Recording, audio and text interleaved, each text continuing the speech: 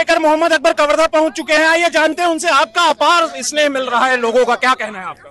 देखिए, मैंने पहली बार उन्नीस में विधायक बना और जब से अब तक आपने देखा कि मैंने पूरे काम गिनकर बनाए, बताए तो जो भरोसे का सम्मेलन हम कराए हैं कि भरोसे के लायक काम किए हैं, इसलिए ये सम्मेलन है और बहुत अधिक विकास का काम हम लोगों ने इस क्षेत्र में कराया है और इसलिए जनता का अपार समर्थन हमको प्राप्त है।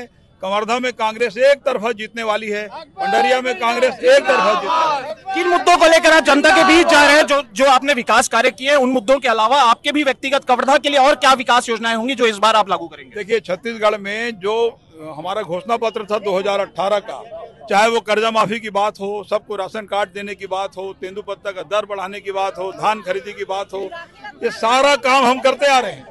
और इसी के आधार पर हम, ये कामों के आधार पर वोट मांगने जाएँगे। और जनता का अपार समर्थन हमको मिल रहा है। जनता का घोषणा पत्र अभी तक नहीं आ पाया है। कब तक घोषणा पत्र का मामला ये है कि हमारे वरिष्ठ नेताओं के साथ मुख्यमंत्री जी के साथ हमारी बैठक होना बाकी है और हमारे इंचार्ज जनरल सेक्रेटरी के अध्यक्षता में ये बैठक होगी। उसके बाद हम लोग घोषणा पत्र को जारी करेंगे। कांग्रेस के चयन समिति के भी आप सदस्य हैं। तो अगली सूची कब आएगी कांग्रेस की? देखिए अगली चयन समिति ने अपना काम पूरा कर दिया है। और जो सेंट्रल हमारी कमेटी है वो उसका मीटिंग होना बाकी है लेकिन वो प्रक्रिया चल रही है जल्दी सूची आ जाएगी। तो ये थे मोहम्मद अकबर जो कवर्धा पहुँचे हुए हैं और तमाम कार्यकर्ता उत्साहित नज़र आ रहे हैं इनके स्वागत के लिए कवर्धा से छत्तीसगढ़ तक के लिए वेदांत शर्मा।